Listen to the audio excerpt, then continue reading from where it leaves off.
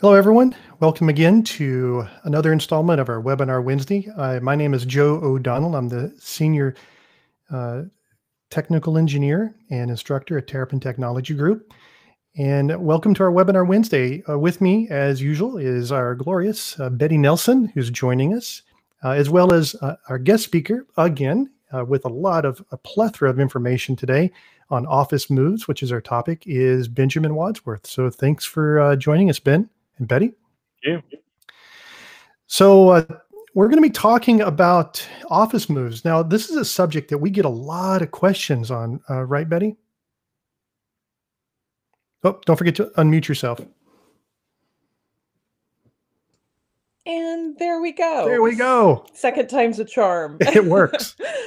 we we do get a lot of questions about this. So I'm sorry if this information isn't new to you or you feel it's uh, been around a while, but this presentation is best based on the questions we get from our customers.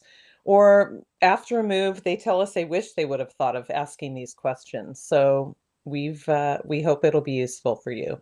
Yeah, and of course the pandemic kind of makes all of that uh, kind of topsy turvy on how that works, and, and that's exactly what we're going to be talking about uh, those office moves in general, and we're going to touch base on a number of things that you need to think about when it comes to this.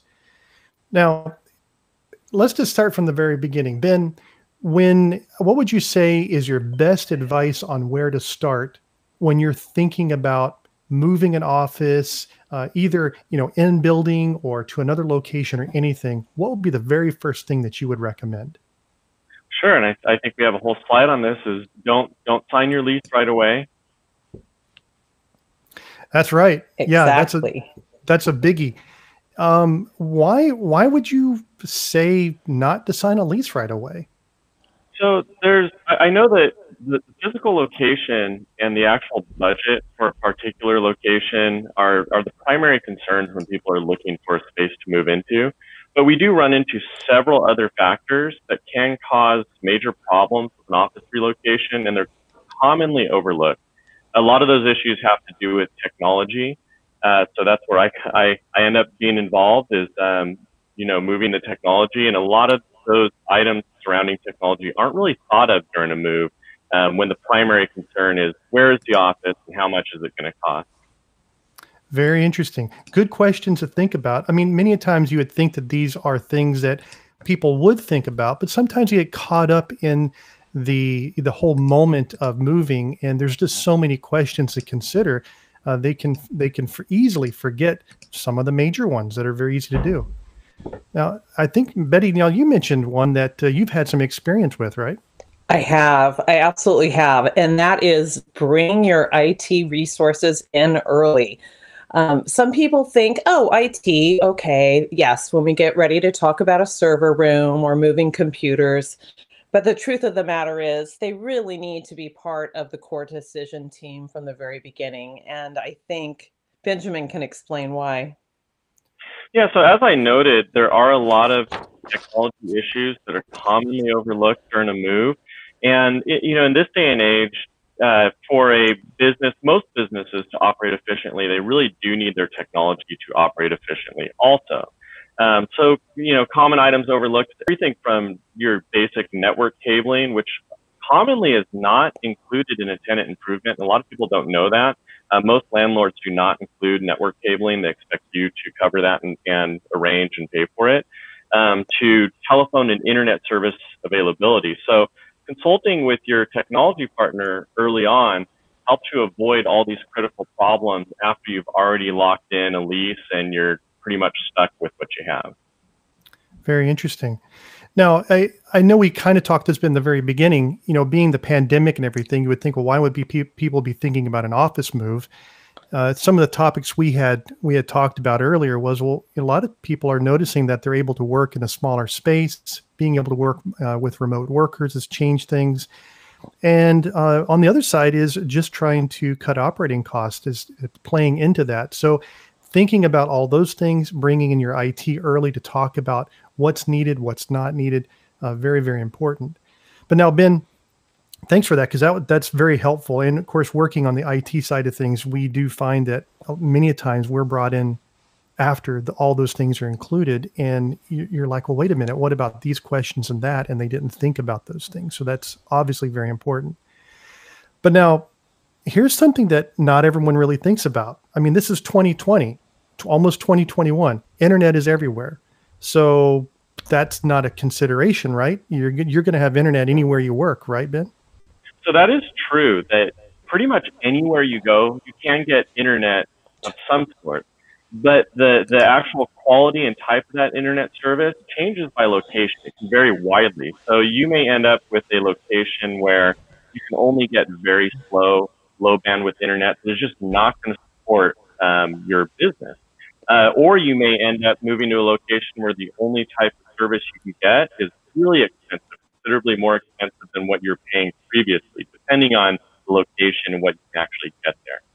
But one of the most common issues that I see overlooked is the time frame it takes to either deploy a new circuit or to relocate an existing internet circuit. A lot of people think, well, this is just, you know, one or two weeks. They can, they, you know, my ISP can move the circuit or I can get a new circuit at this location. That's typically not true. It really does depend on which provider you have and what type of service you have at the location. It can take anywhere from one week to deploy to actually several months, depending on the particular situation. So our, my general recommendation is that you really have your internet service provider locked in and all those issues figured out at least 45 days before your expected move-in date. Very interesting. And I think that even surprised me working in IT that you really need to talk to them that far in advance. But again, there's a lot of considerations to take into a, uh, account when doing that. Now, Betty, you and I talked about something else uh, that goes goes right along with uh, using the internet, and that was dealing with phones. Yeah, dealing with phones. I think a lot of people have misconceptions thinking with um, VoIP and our more modern cloud services that it should just be as easy as bringing your phones to your new location and plugging them in. But I think Benjamin's going to share some information that tells us otherwise. Yeah, so so you hinted at you know cloud or hosted phone systems. Definitely, they're reliant on the internet. So if you have internet at your new location, you're not going to have a problem. You plug them in, your network's up, they get internet, they're up and running. However, if you do have an on-premise phone system, if you have an actual phone system in your office, that phone system is reliant on, I, I, would say, older technology for connection to the wider world. Uh, that could be uh, POTS trunks, it could be SIP trunks, it could be a PRI. Uh, you do need to verify what that connection actually is and verify that the ISP at the new location can actually support those types of services because they can't always support every type of service on every type of circuit at any particular location. Very good point. Bandwidth plays a lot into that too, because uh, all these different devices you connect in will end up taking a little bit of piece of that pie, and then you multiply how many people that are using these, and it could be a big issue. Now, one thing we've noticed too is when we go to help uh, an office or a company move into a new office and they've already mapped everything out and they bring us in after the fact and they say okay we want to move these servers and these computers around. And all of a sudden you find out that uh, they have you know these servers they want to move and now they're in some little obscure or inaccessible area crammed into a corner or more times not into a small closet uh, where there's no ventilation. Uh, I mean, is this a common occurrence, or is this just something that we just happen to come across a few times, Ben, when those things aren't thought out? And is that a problem? Yeah, so so two of the most common issues that cause problems during a move that I have seen are network cabling, and as you mentioned, the server room in general. Um, so there's, there's three main issues I run into on a regular basis. Um, first being the server room is not adequate. It's not large enough to hold the equipment expect, and it's the right amount of air conditioning or ventilation to keep your um, to keep your equipment from overheating. Uh, it's not uncommon for people to actually completely forget that they need to have a location to mount their servers. I run into that multiple times. Um, a second issue that I commonly come across is that you need to be sure that there's network outlets where you actually need them and in sufficient quantity to support all the devices that you want to plug in. So if you plan to have a desk on, on a particular wall, then you do need to be sure that there's both network and power on that wall, or you may end up running long extension and patch cords across which is a tripping hazard and looks terrible. And then the, the third most common problem I run into is the, the type of network cabling. Being sure that the type of network cabling actually supports your network equipment. Uh, so if you intend to use existing cabling in a building, that's something that should be verified that it will support your network equipment. Uh, as a general recommendation, if, if you're doing a new installation, we always recommend that you install category six cabling. Uh, if you are moving into a building or just in general, category 5E cabling, and I won't get into the technicalities of that, but category 5E cabling is will work in most scenarios. Um, interesting enough, uh, there's actually industry standards that, that address all these issues. It's like a 500 plus page document that addresses everything from server room size to network locations, how many cables should be at each location. But those standards are typically ignored during a tenant improvement. Interesting. I haven't read that. Uh, normally, just for everybody's note, I usually just call Benjamin to, to, get that information. He's our encyclopedia of, of those uh, those regulations.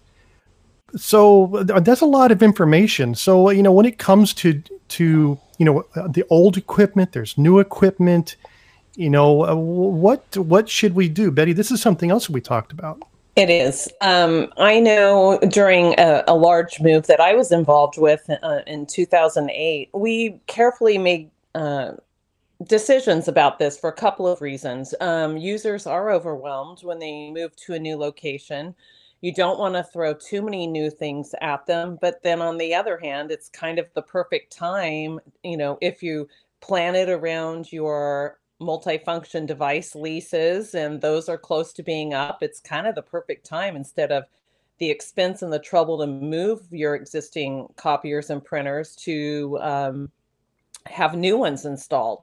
I just want to remind everyone if you're going to do that and have new equipment like phone systems, also sometimes uh, a good time to move uh, or get new phone systems instead of moving to allow for training and build that into the move. Benjamin, um, what do you see often in this regard?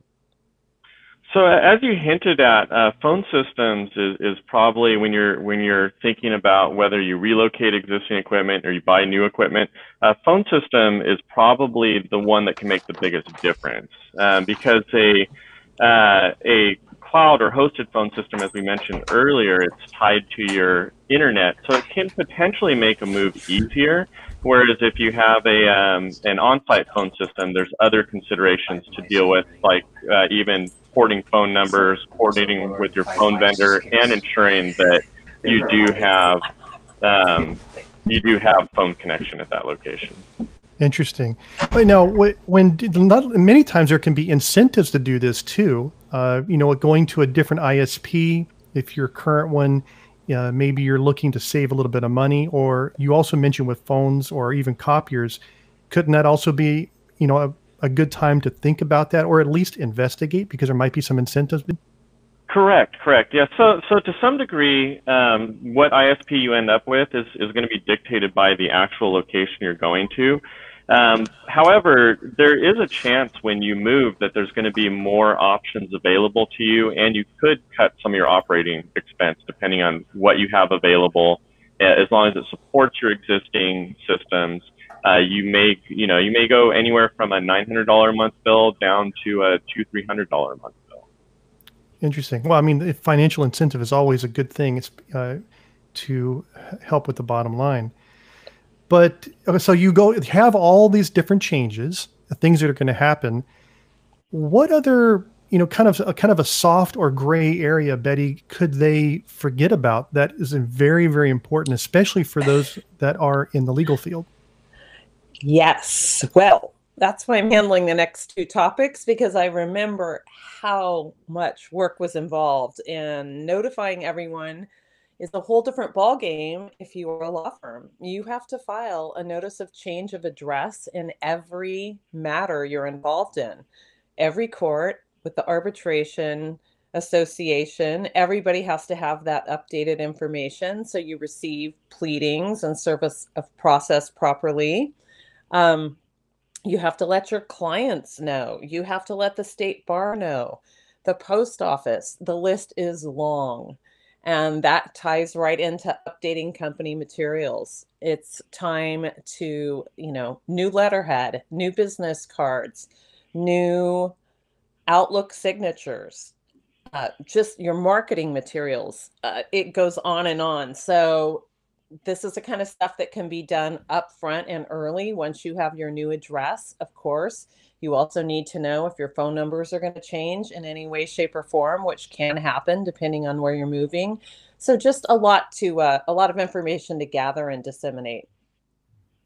Very good. Thank you. That and many times those things are kind of forgotten until the last minute, and then they're they're scrambling to take care of those things. Yes. Now I know for most firms, this right here is going to be the biggest question. Usually comes up from the IT side: how much dine, uh, downtime is involved? You know, many times the moves will start on a Friday afternoon, and the goal is to have all the users back in their offices on a on a Monday morning uh, per whatever regulations are in effect. And downtime, you know, it kind of varies depending on the type of equipment and services that are being moved. Uh, email, obviously, many times email is cloud hosted, so that really doesn't take too much of a hit. But there could be network functionality, uh, remote access to your documents, and things of that. That will kind of depend on your setup. But Benjamin, what are you seeing in terms of downtime these days and expectations? Sure. So, as you mentioned, uh, cloud-based systems, for the most part, don't have a lot of downtime. Uh, if you have hosted email, then your email is still going to come to your smartphone, even though you're relocating. But on-site systems, for example, if you had a local Exchange server on-site, or if you have your remote desktop running through an on-site terminal server, those services are going to be down from the moment that everything is powered down at your old location until it's physically moved and your entire network rebuilt at the new location. My typically what I see is anywhere from two to three hours. Now that's dependent on how far apart these locations are, the difficulty of getting in and out of the buildings. But that's a that's a good rule of thumb: two to three hours expected downtime uh, for us to be able to relocate equipment and get it at least minimally functional on the internet uh, and up and running for you. Now, phone systems are a little different issue. So uh, as we mentioned before, cloud phone systems, you, they're internet based, so you're not going to actually take your phone system completely down when you relocate. Uh, so there are ways to mitigate uh, phone system downtime during a move if you're cloud based. You could do things like forwarding to a cell phone, using mobile applications to keep your phones up and running as you relocate. If you have a premise phone system, it's a very different story. And I would say this is probably what takes the most coordination if you are relocating uh, premise-based phone system. Uh, that is dependent on your internet service provider and whether they're just relocating a circuit or if you're getting a new circuit. If you're getting a new circuit, it's likely you're going to have to port phone numbers. Uh, that porting process could take up to 30 days or even longer to to achieve and then that all has to be coordinated with uh, the time that the numbers are going to be ported, with your phone vendor to be on site to test it. Um, you know, there's just a lot of issues surrounding premise-based phone systems that do require a lot of forethought and coordination. Very good. That's great information to keep keep in mind when doing that. And of course, all kind of depending the downtime may also uh, depend on any type of regulations or restrictions that are put in, in place uh, because of the pandemic or orders from government agencies.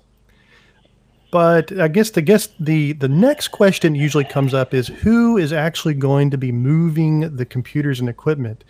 Are the movers moving the computers? Is your IT team or your provider moving the computers?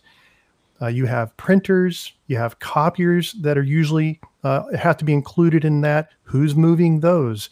Uh, who's going to manage uh, that? Is that the uh, your IT team? Is it the movers? Is it the printer copier company? Uh, so you have to make sure to coordinate that far in advance. sometimes there are restrictions on who can move certain types of equipment. Uh, your movers may not move the computer equipment or may not have factored that into their move to take care of those things. So be careful about that and plan for that far in advance. Uh, another thing to keep keep in mind is when you do actually move things, uh, movers don't usually disconnect and reconnect devices. So who's going to be responsible for doing that? Uh, again, think about who's going to do that and talk to them ahead of time and have that set aside.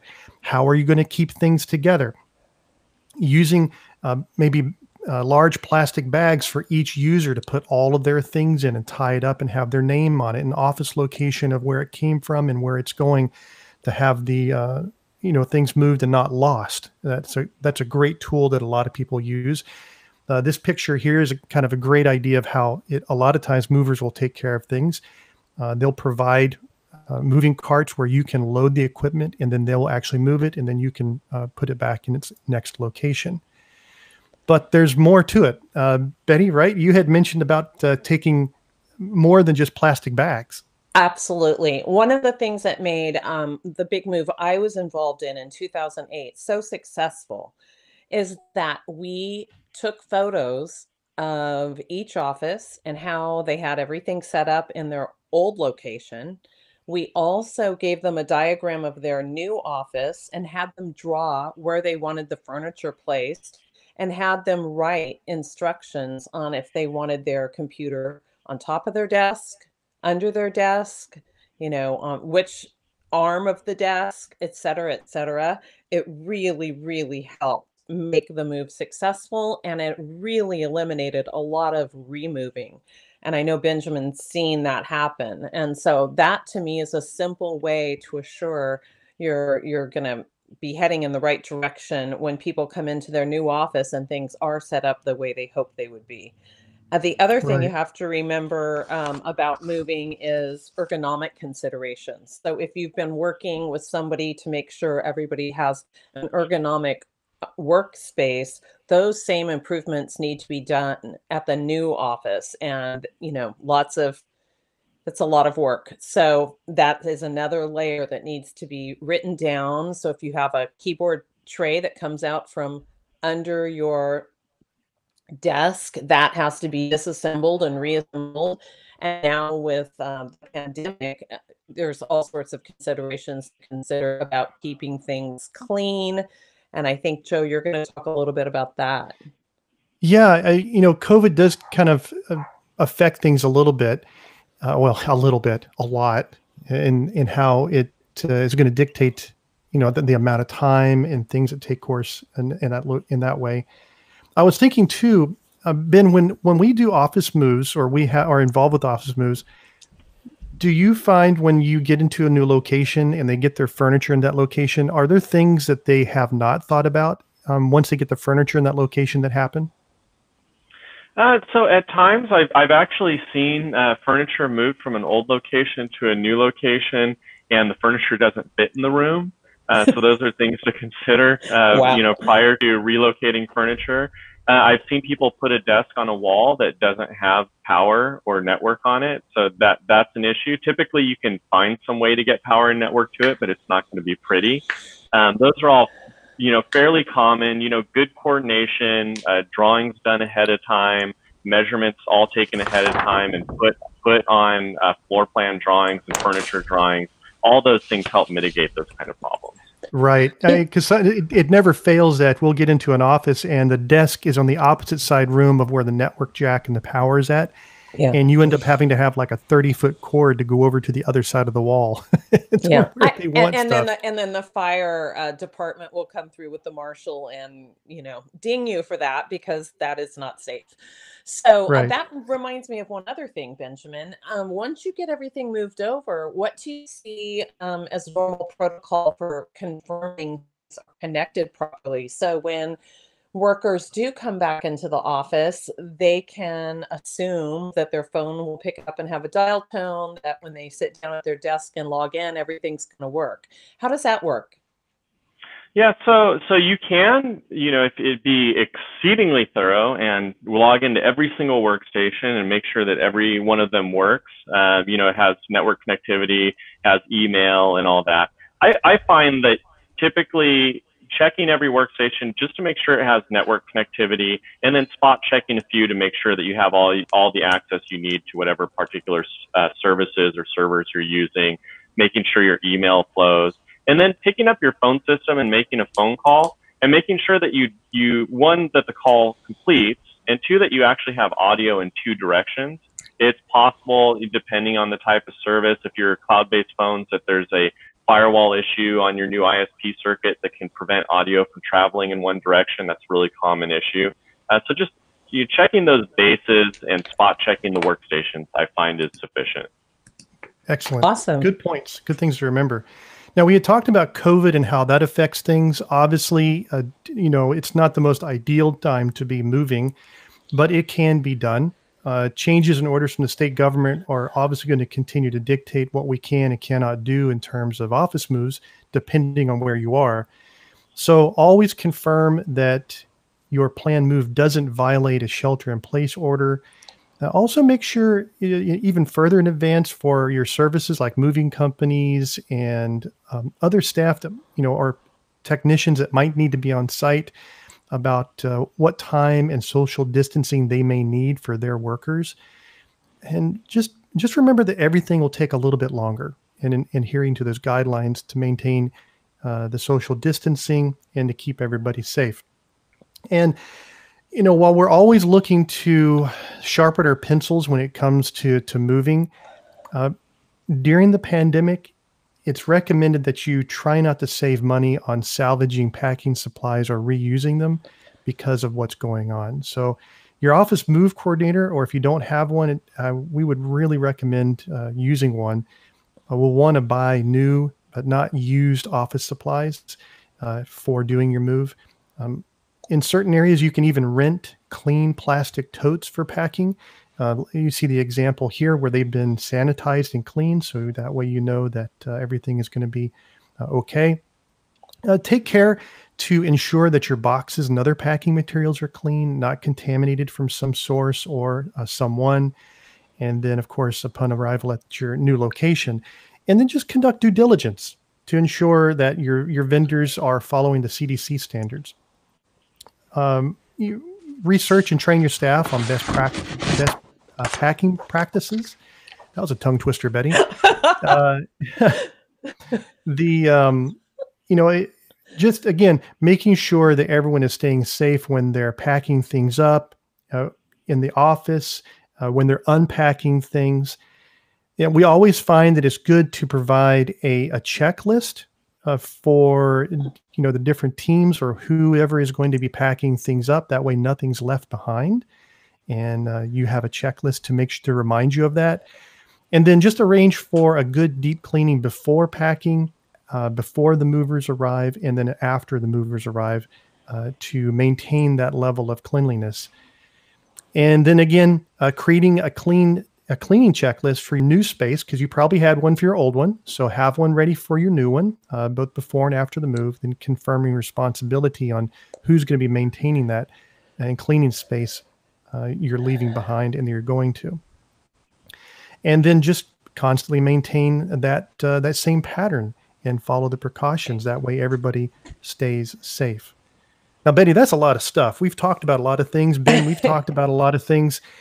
What do we, have for our What do we have for our listeners today to uh, walk away with?